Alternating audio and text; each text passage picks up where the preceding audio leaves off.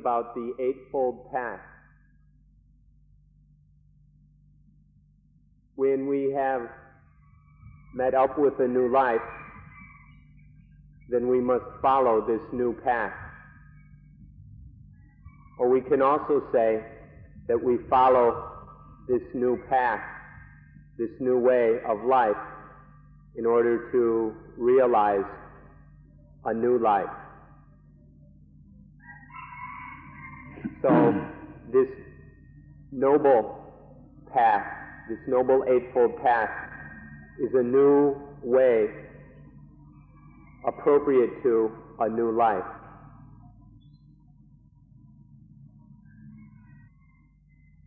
In Pali, there's the word Arya, the Ariyamagga, the noble path. We translate Arya to mean noble. What it means is free from dukkha. Arya means free from dukkha. This is what we mean by noble. Literally, it means to, to go away from enemies. By enemies, we mean the defilements of mind, which, which bother us and lead to all sorts of problems. So we call this the noble path because with it one walks away from enemies. One walks the way that is free of dukkha. This is what we mean by noble. Now let's look at the word eightfold, the noble eightfold path.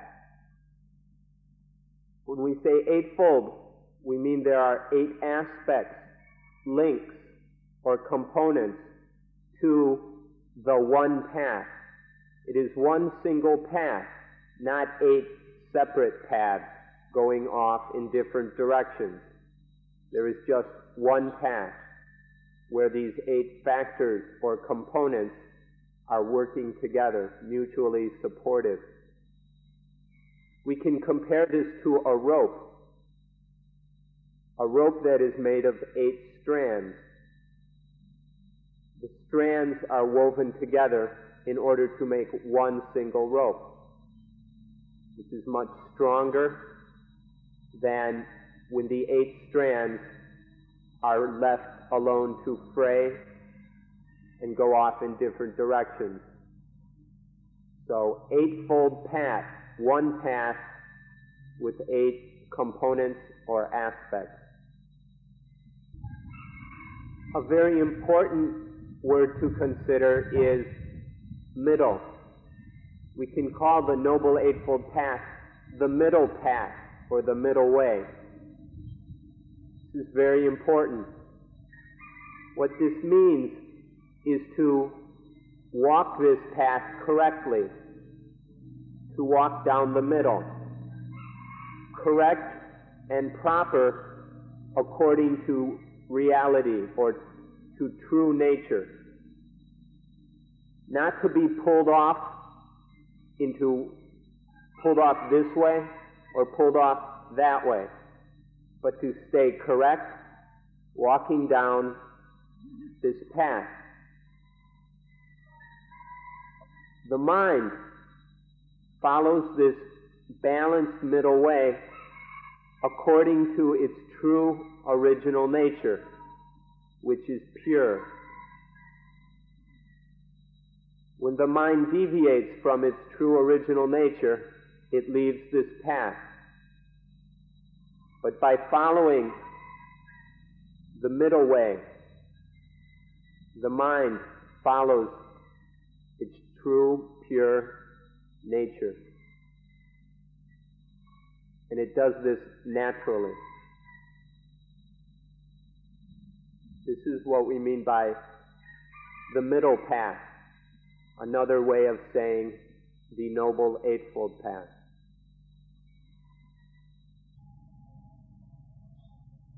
So the word middle practice or balanced practice is very important. This means that the clear or the bright mind, which is the true nature of the mind, is of the nature to practice in this middle way, to practice according to reality, according to nature. But when the defilements cover the mind or possess it, then there is deviation into off onto some sidetrack instead of just allowing the bright mind to automatically follow the middle way or the Noble Eightfold Path. When the bright mind is allowed to just go its way, it will automatically follow the middle way, the balanced, correct way. But when the mental defilements come in and cover the mind, then there is a curving off, a straying off of the past. If we look at this from the point of view of modern science, we can say that when the, the baser instincts take over, then the mind is routed into these lower states of mind and is no longer able to follow the middle way. When there is freedom from the defilements, from mental pollution, then the mind goes according to natural knowledge, which is correct and proper. So the bright mind, following this natural knowledge, has no problem following the way.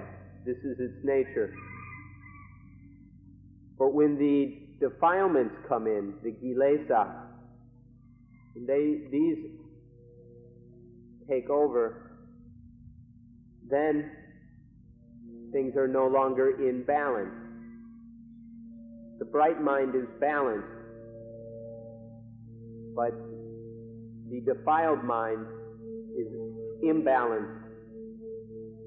Because it is out of balance like this, sometimes it goes off to the left, sometimes to the right. Sometimes it goes up, sometimes down. Or there's too much or too little. This is what happens with the defilements. The natural, pure balance of the mind is interfered with. So, this shows the importance of getting out from under the influence of the kilesa, to long, no longer be under the power of the kilesa, the defilement, in order to, to live and walk in this balanced middle way. Let's repeat once again about the instincts. When the instincts are out of control, when there is, we are no longer able to control the instincts, then they become selfish. The out of control instincts become selfish. And this gives rise to all the kilesa. The out of control instincts pull the mind off of the balanced middle way into these dead ends of the kilesa, of the mental defilements. This is very important to note. We often call these things the defilements, but we can see that they are just instincts which are out of control. Seeing this gives us an insight into how to bring them under control. So they are, that the instincts no longer become kilesa. This is something to be very interested in in order to get back on the path, to return to the balanced, bright state of mind, in order to follow the path. To make it easier to understand the middle way, let's look at some pairs of things which take us off the middle way. The first pair are extremes of the left and the right. The first extreme, off on the left, is to go too much according to one's own wishes and desires. This is the extreme of lust or desire, of sensuality, and the indulgence of sensuality. It's indulging in things that cause, that lead to pleasure.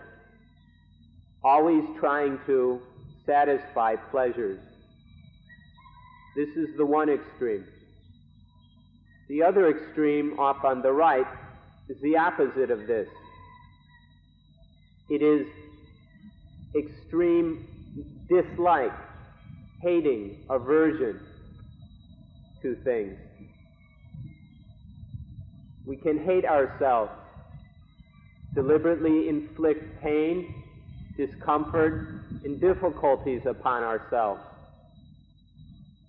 Or we attach, we hate or dislike lust. And attaching to this hate of lust, we can deliberately try to damage the sensual organs, the organs of sensuality, in the vain hope that lust will be destroyed this way. These are kinds of attachment off on the right, based on disliking, hating, aversion to things, deliberately inflicting pain, discomfort on oneself.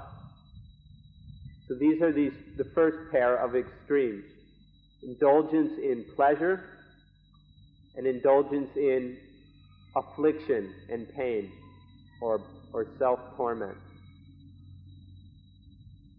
The next pair is very similar to the first. It's basically a metaphor to describe them. The one extreme is to be soaking wet, to be damp, moist, to be drowning in sensuality, in sense pleasures, greed, and lust. This is to be sinking in the ocean of desire, to be all wet. The other extreme is to be burning, roasting, until one is very, very dry and then begins to burn. This is the other extreme. There are the extremes of being soaking wet on one hand, and on the other, burning, burning up. The first is called, the first one is akalaha ah. patipada, and the second is nijjhama patipada. There you go. The third pair of extremes is to take some things as positive and others as negative. The positive are things we're satisfied with. We take satisfaction in these things and judge them as positive. Then other things which we are dissatisfied with, which cause dissatisfaction, these are judged to be negative. These are two kinds of attachment. Attaching to things is positive and attaching to things is negative. This means that the mind stupidly goes off in one direction and clings to something as positive, or stupidly bends off into another direction and clings to something else as negative. Positive and negative are not the middle way. They're attachment to extremes. So we need to understand this third pair of opposites, of extremes, which are not the balanced middle way. If we look at the world these days, we'll see that practically everybody has gone off into the positive, has gotten off track onto positive things, into satisfactions.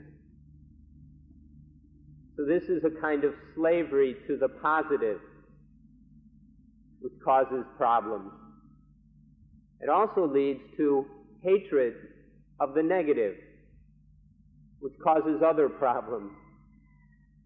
To be a slave to the problem, to the positive, gives rise to certain problems, and being a slave to the negative gives rise to other problems.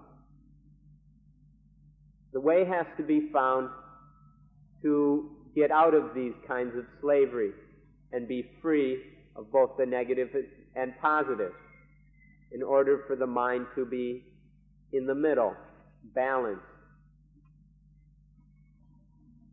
Fourth pair is to go off and look at the world as, oh, everything's good, everything's wonderful. This is the extreme of optimism. Its opposite is to look at everything as horrible and terrible. The world stinks. This is the extreme of pessimism. Neither of these are the balanced middle way.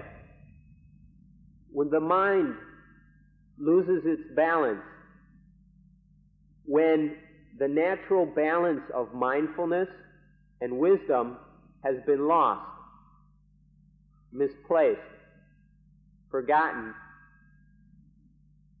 then the mind sidetracks into positivism and negativism. Um, pessimism and optimism.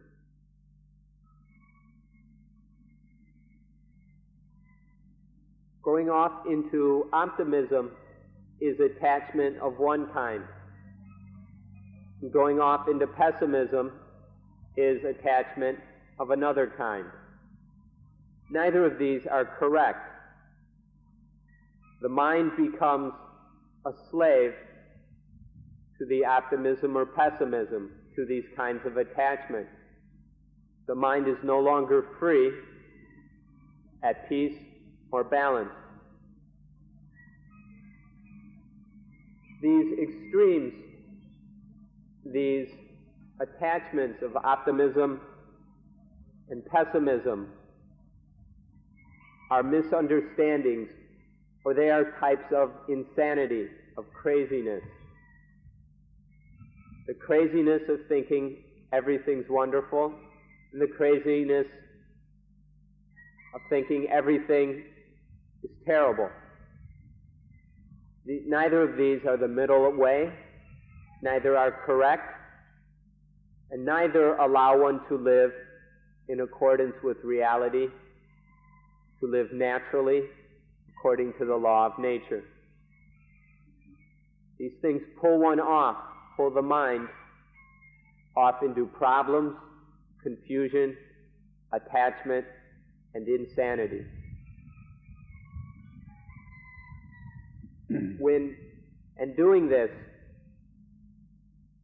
we no longer see things as they really are.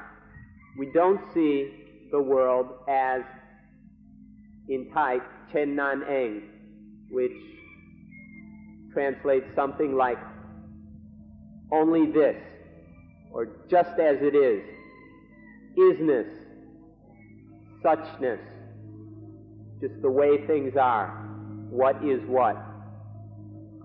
When the mind is balanced, it sees the isness, the, the what is what of everything. But when the mind is attaching off into some craziness of pessimism or optimism, then this isness cannot be seen. Now let's look at what it means to be balanced in the middle.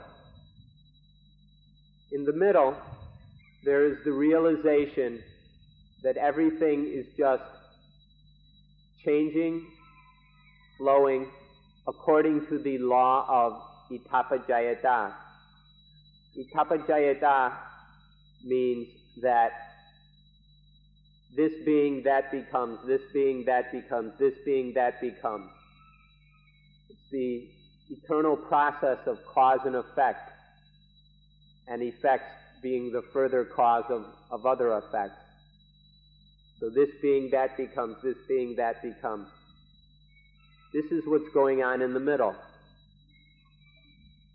This is also the, we can see this as the process of paticca samuppada, or dependent origination, which you've heard something about. This is what's going on in the middle. This, this process of change following the law of cause and effect. This is the law of nature. When the mind is pulled off into extremes, it isn't able to see or understand this law of nature, this law of idappaccayata. But when it is when we come back to the middle and there is balance, things, reality, nature, life is understood as flowing, processing according to the law of this is, that becomes, this is, that becomes, this is, that becomes, this is, that becomes. To be at the center is to see that there is nothing outside of this law of idappaccayata. It is to make no distinctions between anything. So let's revise my translation a bit. I said, this is that becomes. This isn't quite right. When everything is seen as according to the law of Idappaccayata, then there is no longer this and that. There is only this. This is, this becomes. This is, this becomes. There's no, when this is understood fully, there is no distinction between this and something else. Everything is just this. This is, this becomes. This is, this becomes. This is, this becomes. There is no longer the division and separation of self and others, of me and them, of us and they. These, dis- these distinctions no longer have any appearance of validity because everything is seen as the law of idappaccayata. This is, this becomes, this is, this becomes, this is, this becomes. And that's all. And so, without these separations, divisions, distinctions, then there can be no extremes such as pessimism and optimism, or positivism and negativism. Because there is just this middle, this balance of the law of idappaccayata. This is, this becomes. Now let's look at the pairs of opposites. As we all know, there are many of these. We've been talking, we've mentioned a few, such as pessimism or optimism and pessimism. Now let's look at these pairs of opposites. The first one is good and evil. Good and evil are, once again, when the mind is gotten out of balance and is no longer in the middle. It's taking sides and making preferences. When something pleases us or goes the way we want it to go, then we judge it as good. It is evaluated as good in an unbalanced, selfish way. When something doesn't please us, when it doesn't go the way we want, that is judged to be evil. Neither of these are balanced in the center because they aren't seeing things as they really are, as just the process of idappaccayata. Out of the middle, we no longer see this process and then are evaluating things as good and evil in a selfish, egocentric way. This is the first pair, good and evil. The first pair of opposites, which illustrate the lack of balance. To be balanced, the most proper way to phrase this is to say that the mind is free or above the meaning of good and evil. When good and evil have no value to the mind. This is an exact way of stating it. If you understand what we were saying about this first pair of opposites, then you will understand what is written in the Christian Bible on the first page of Genesis. There is the, the account where God forbid Adam, Adam to eat of the fruit of the tree of the knowledge of good and evil. God told Adam to leave that fruit alone. He says, if you eat of the fruit of the tree of good and out of the the fruit of the tree of the knowledge of good and evil, then you will die. You understand what we're talking about in this first pair of opposites. You'll understand what is meant here. Attachment to good and attachment to evil is death. The common person sees everything as they appear to him. Everything is judged according to dualism. All these pairs of opposites are believed to really exist as far as the mind of the common person goes. But this isn't the truth. This common appearance, these views of the common mind are not true or real. When we follow these appearances of dualism, this leads to attachment to good and attachment to evil. And this is death. This is what is meant in the first, the first book of Genesis, the first chapter. The second, the second pair of opposites which we'll look at is sukha and dukkha, or happiness and unhappiness. Unhappiness is when there is something that pleases, and unhappiness when there is something that displeases. Once again, there is selfish judging. Now, happiness leads to various problems.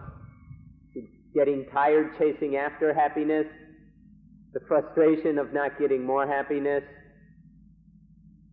the, the fear that the happiness will go away, and many other problems like this.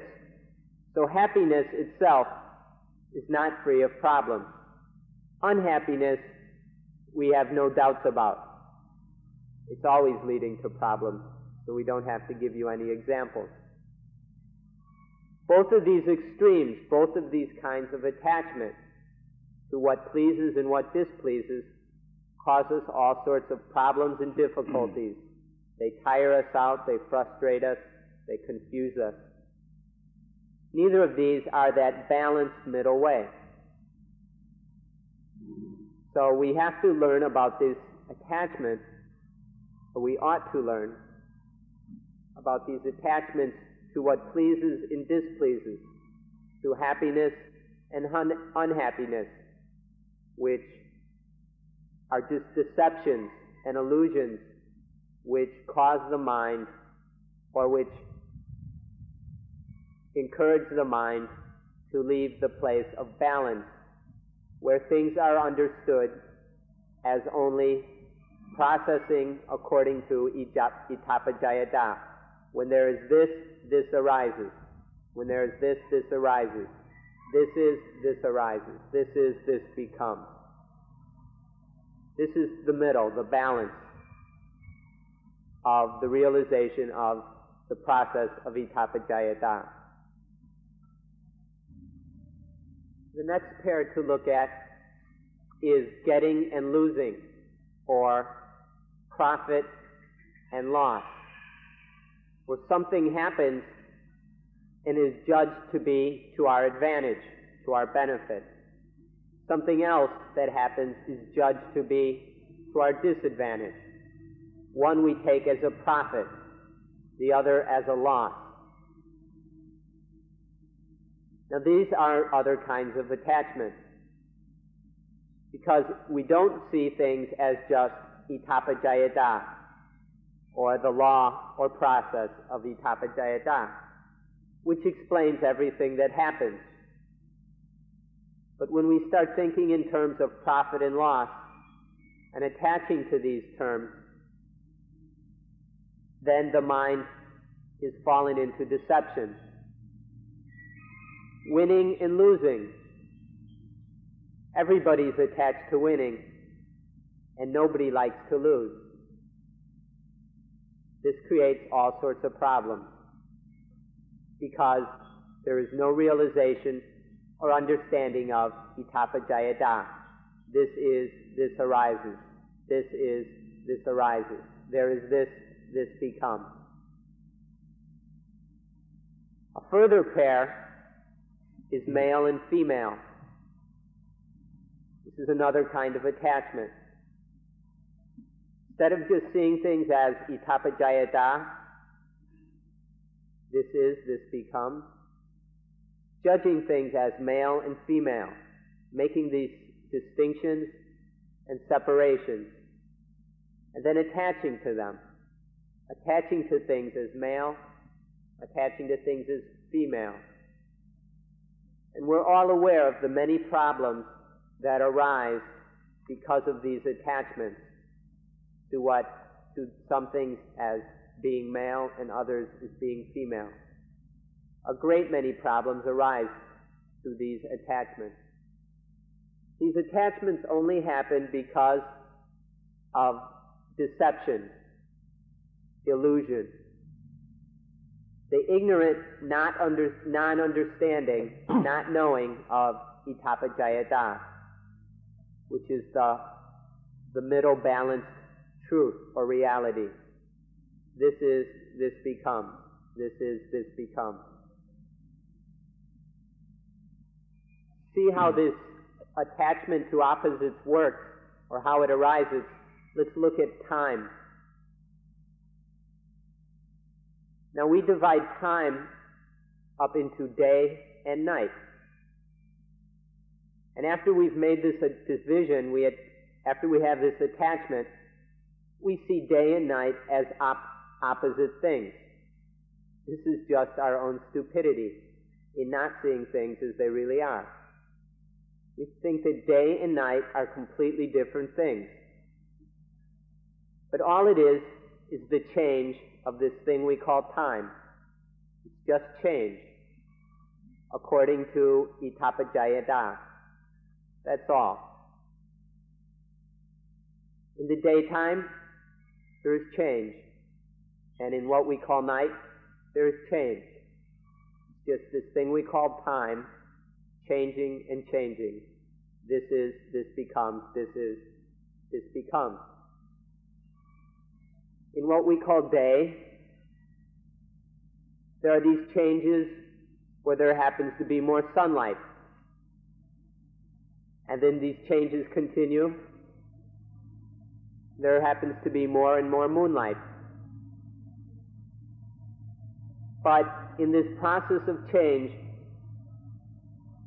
there is, there is no real thing that we can attach to as day or as night. It's only our misunderstanding which causes us to fall into this deception. So what we need to see are the, the qualities or the benefits or virtues of things which lead us into deception, which cause us to be deceived. Take male and female again. There are certain things about certain female things and certain male things which we attach to. And through this attachment, we make this separation of male and female where there is no real distinction. Instead of just seeing the process of change, which leads to certain things we call female and certain things we call male, which keep changing, are never any solid, static thing. These, these things that we, that deceive us, lead us into attaching to maleness, femaleness. And this distinction takes us out of balance. It's through not seeing, it's, it's by being deceived and not realizing the law of Idappaccayata that these things happen. It's very important to find and notice the, these causes of our deception.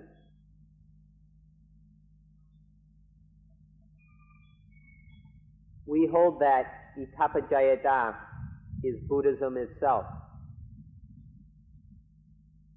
The Blessed One, the Lord Buddha, said that he who sees the Dhamma sees the Buddha. He who sees the Buddha sees the Dhamma. The Blessed One also said that he who sees, or the one who sees Idappaccayata sees the Dhamma. The one who realizes the Dhamma realizes Idappaccayata. The one who realizes Itapajayata sees the Buddha. Not the physical body of the Buddha, but the real, true, genuine Buddha, the one who knows, the one, the awakened one. This is why Idappaccayata is the heart of Buddhism. It's the Dhamma, the truth, the way things are. To see and realize this is to follow and practice the middle way. I'd like all of you to become familiar with this word idappaccayata. Think about it, repeat it, get to know it, so that it is no longer a strange, unfamiliar word. Bring it into your everyday vocabulary so that it is an everyday word for you. Idappaccayata. Get very familiar with this word. This is because this is the heart of Buddhism.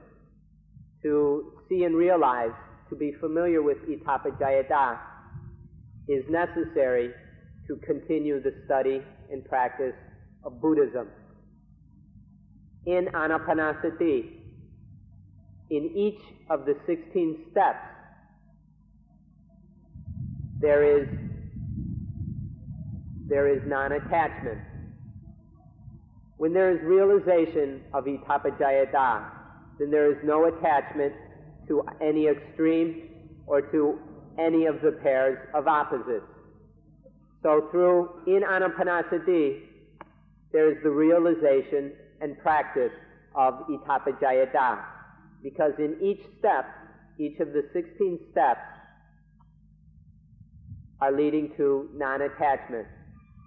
In none of the 16 steps is there attachment to any of the pairs of opposites.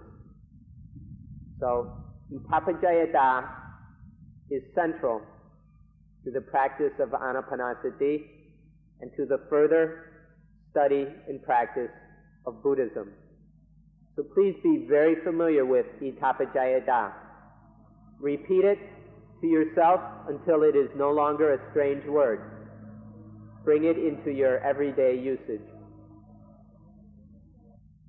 We'd like to mm. encourage you, in fact, we insist that you practice saying this word. Get the sound right. Memorize it and practice saying it over and over so that you know it well. And whenever the time comes to use this word, it will roll right off your tongue easily and naturally. It just, it's a long word, so practice saying it so that you've got it right. And then whenever you have the opportunity to use it, you can use it freely and easily in everyday conversation. The kind of word that is appropriate throughout the day. So let's practice saying it. Idappaccayata. And if we use the correct full Pali name, then we add Paticca Samuppato. Idappaccayata Paticca Samuppato. Idappaccayata or Paticca Samuppato. Idappaccayata Paticca Samuppato. You can use that, or you can use just Idappaccayata or just Paticca Samuppato. Just keep practicing and repeating until you've got them down. And then use them in your normal conversation,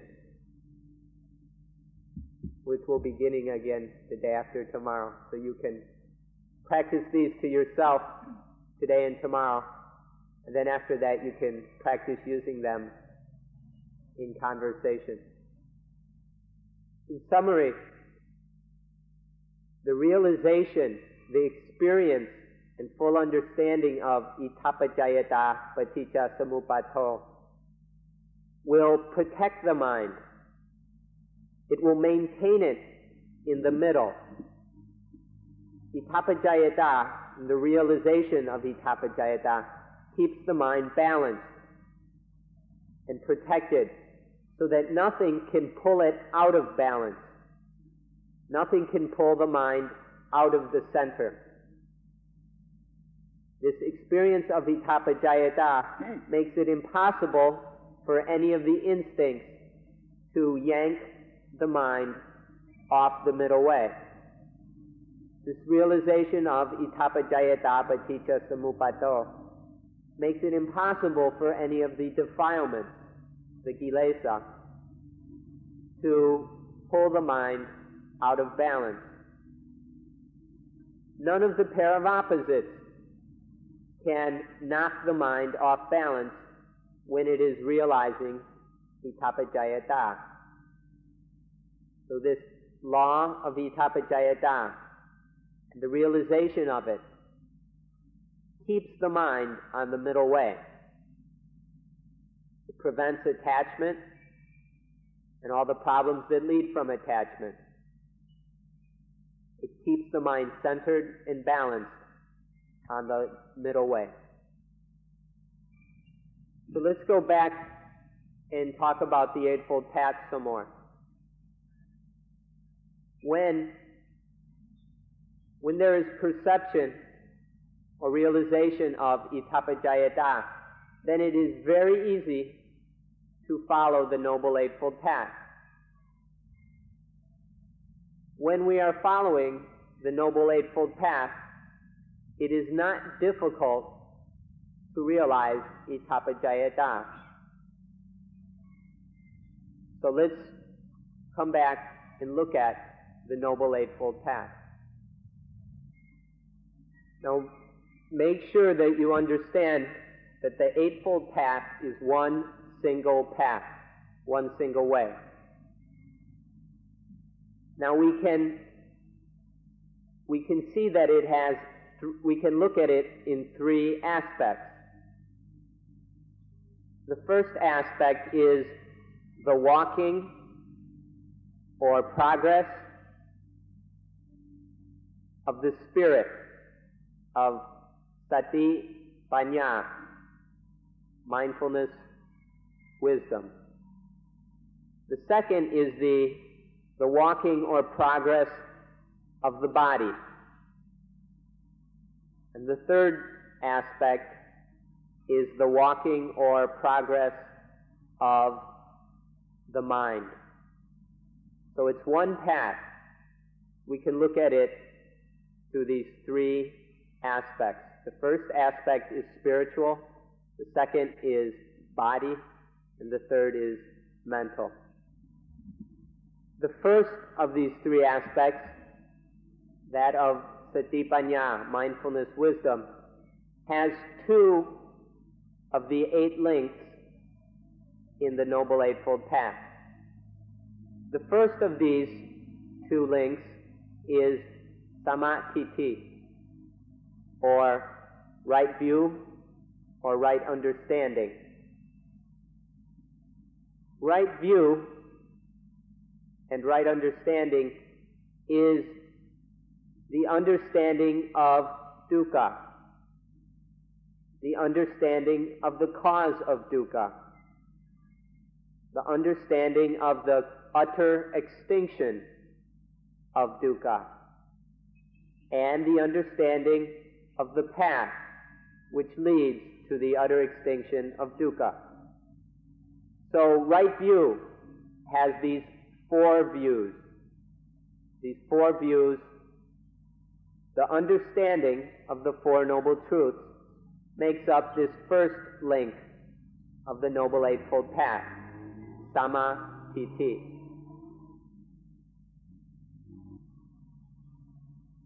If we look at Samatiti, right view,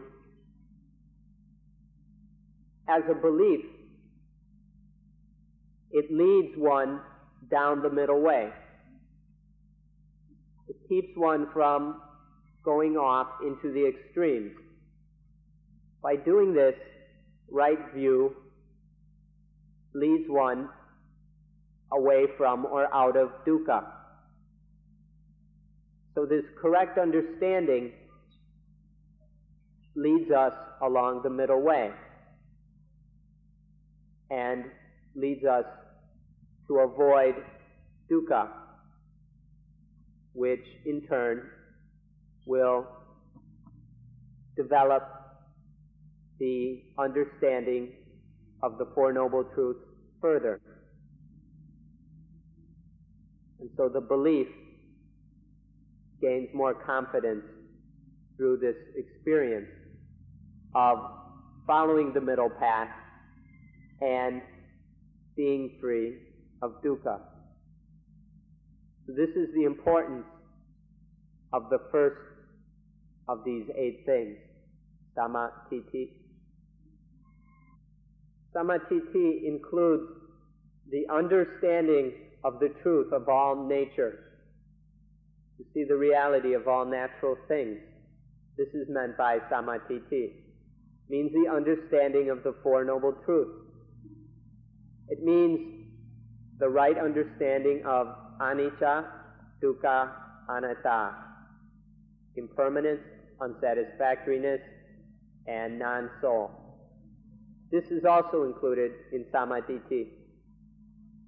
Further, it includes the correct understanding of idappaccayata and of paticca samuppato.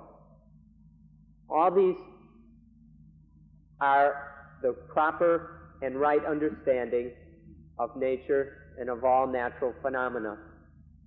And this is what is meant by right understanding. Samadhi.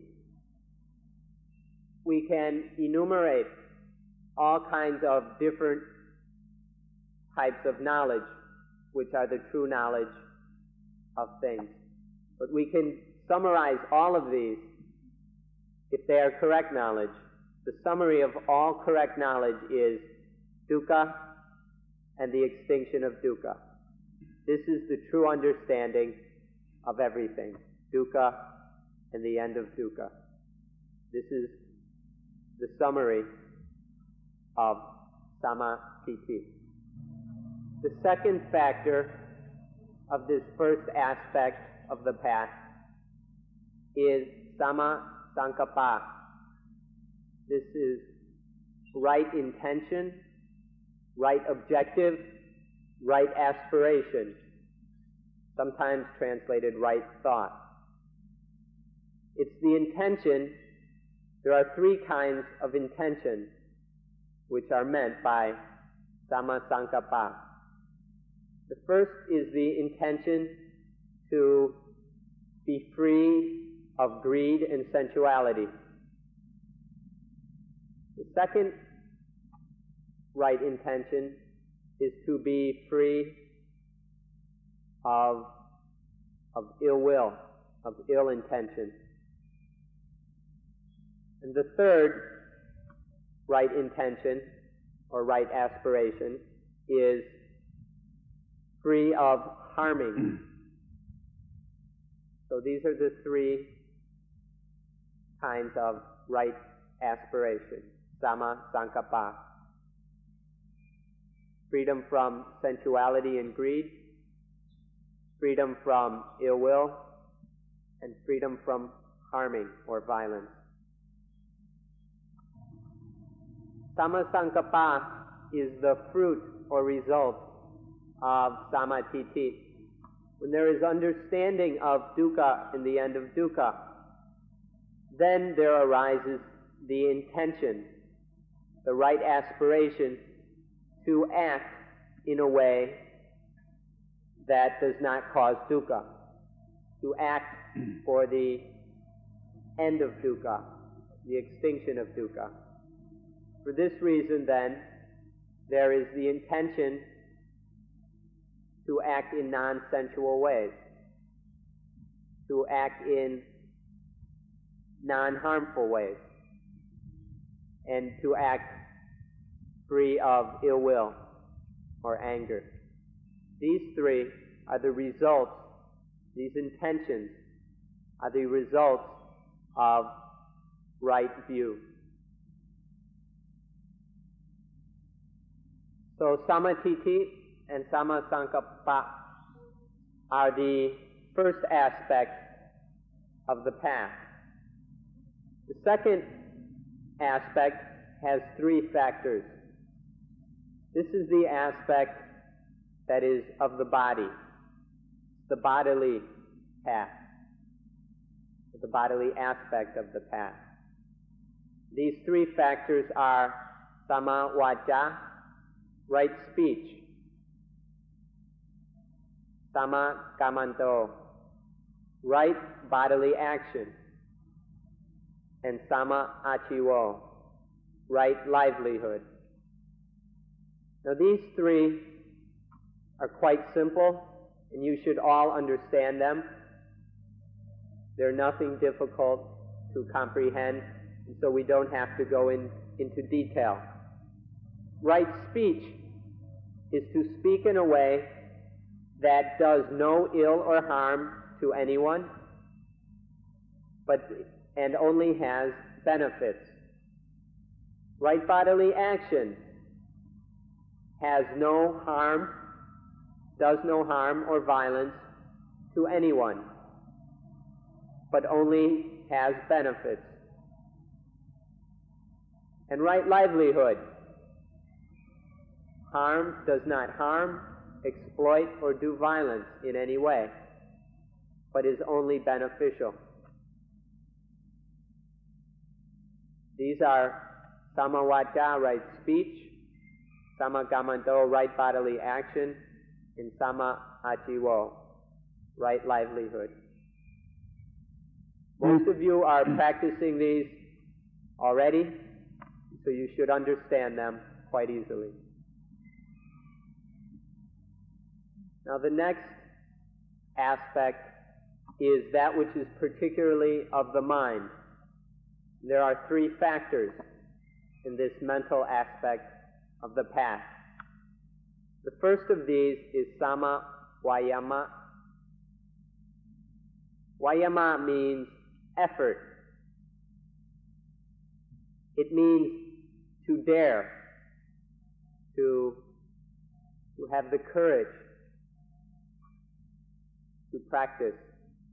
It's to be certain and sure in that practice to keep moving forward, to never retreat, never give up.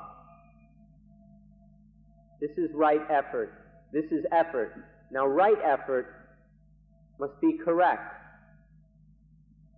must be right daring and right certainty, always moving forward in a correct way, so that there are no disadvantages for anyone and only benefits.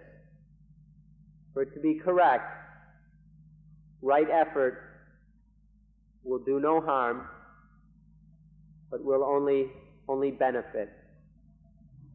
Another way to see right effort is in four ways. First of these is to prevent the arising of undesirable things, of unwholesome things. Don't allow them to arise. The second is to abandon these unprofitable, undesirable things that have arisen. Then there are useful, desirable, profitable things. The ones that have not arisen need to be developed. The ones that have already arisen should be maintained. So there are these four aspects of right effort to avoid or abandon unprofitable, unwholesome, undesirable things and states, and then to develop and maintain the profitable, wholesome, desirable states. These four make up sama vayama, right effort. The next factor is sama sati, right sati, right mindfulness. Now the correct, when we are practicing anapanasati, if we are doing so correctly, then we are practicing correct mindfulness. There is mindfulness of the in breath, mindfulness of the out breath. Then we are practicing and developing right mindfulness. Mm. Right mindfulness is to be always mindful. Mindful before thinking. Mindful before speaking. Mindful before acting. This is right mindfulness through the four foundations of mindfulness. We develop samasati. So that whatever the situation, event, or occurrence, whatever sensual objects make contact with the ear, the eyes, ears, nose, tongue, body, and mind. In all of these events or occurrences, with mindfulness, we can struggle, cope, and with, and solve whatever the situation is. This is right mindfulness. We develop it and practice it by being mindful of every in breath and every out breath through the 16 steps of anapanasati. The four foundations of mindfulness is the development of right is the development of right mindfulness. And anapanasati is the correct way of, do, of doing this, of developing and practicing samasati. The last factor is sama, samadhi. This is when all the energy and power of the mind is gathered together. This is sama samadhi. The mind's energies are all gathered together and united.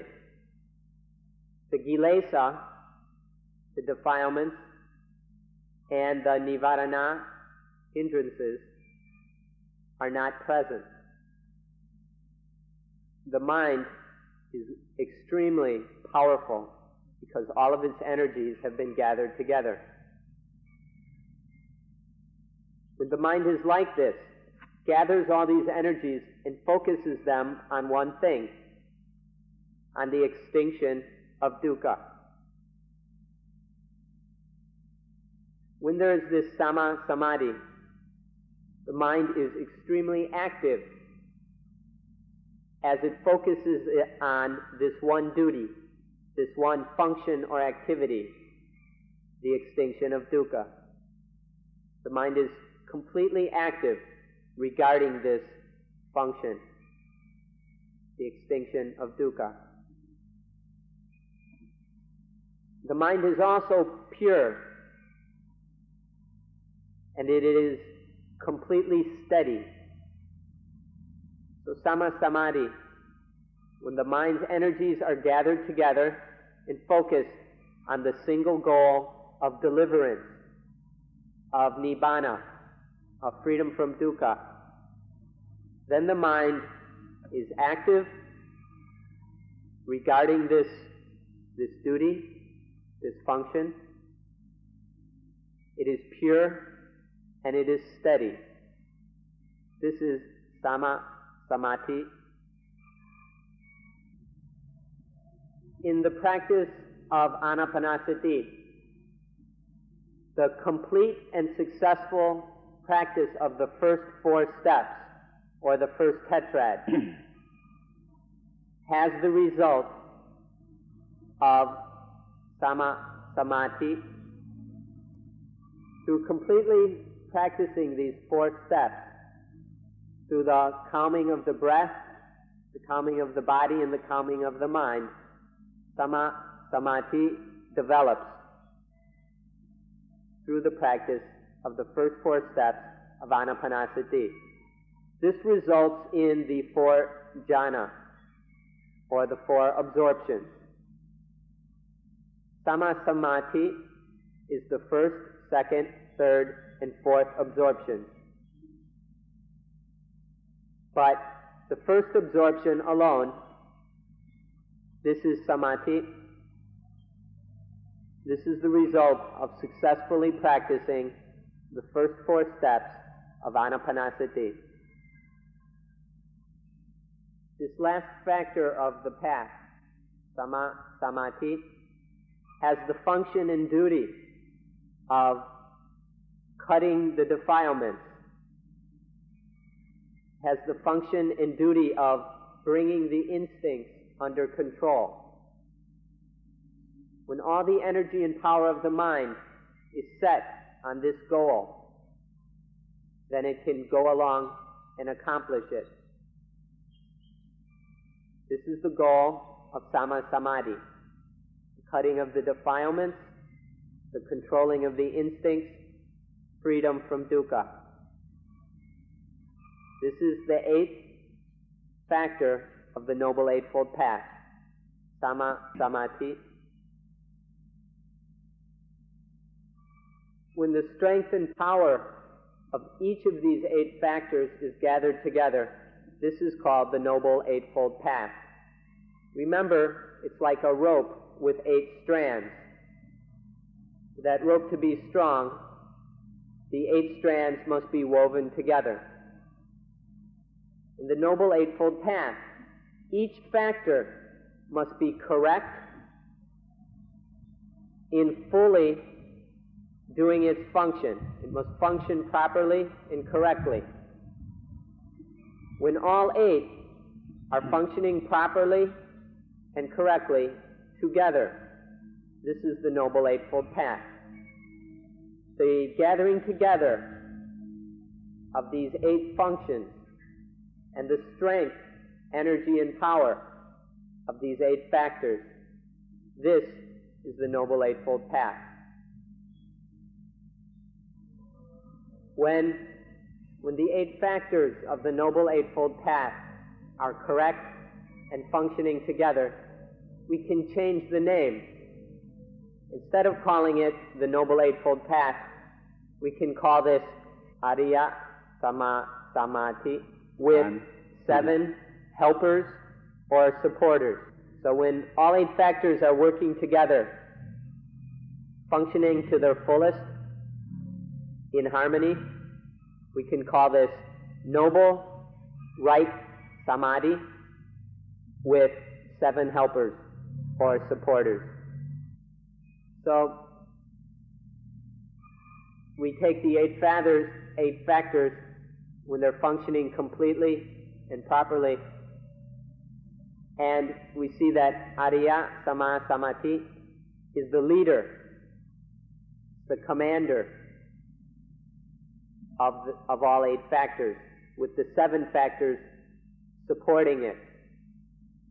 And when this has happened, then Ariya Sama Samadhi, noble right Samadhi, is able to cut the defilements, cut the hindrances, it can cut and root up all ignorance. Whatever there is that needs to be cut, Ariya Sama Samadhi can cut it through this gathering together of the eight factors, through this correctness and power.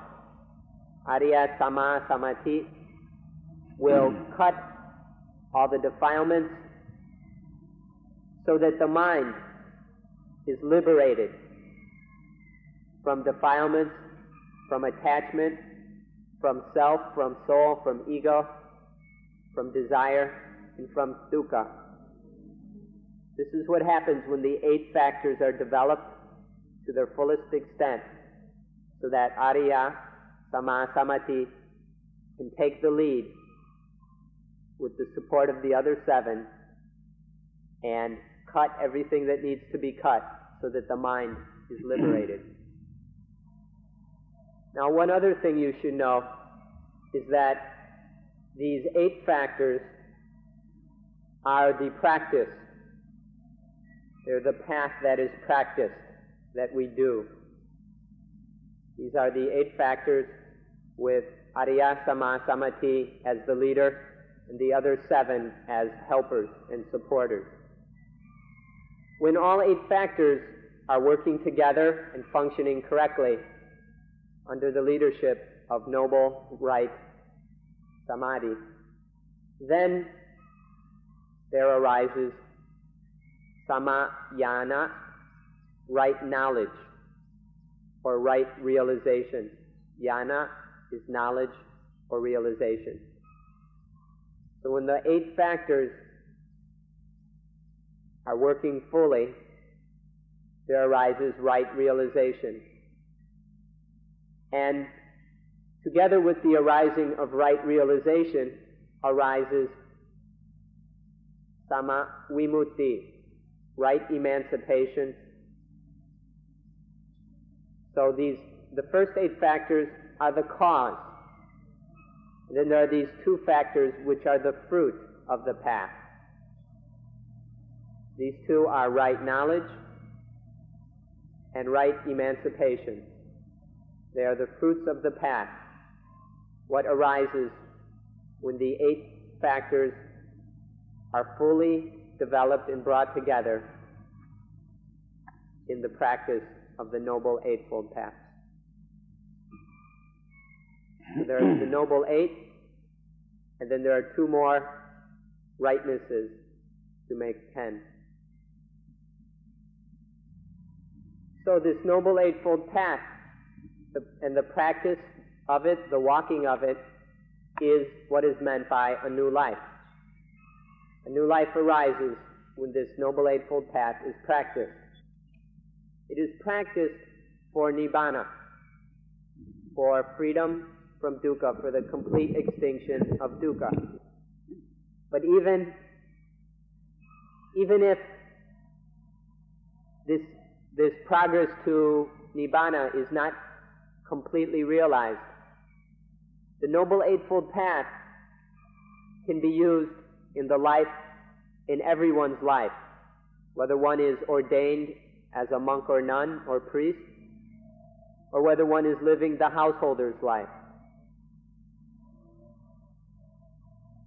One still can have and live a new life by following the Noble Eightfold Path which leads to Nibbana. For a new life, one needs to be moving toward Nibbana, whether one is ordained or a layperson. This is what is meant by a new life, to be practicing the Noble Eightfold Path that leads to Nibbana. At, on this point, we will end today's talk about the Noble Eightfold Path.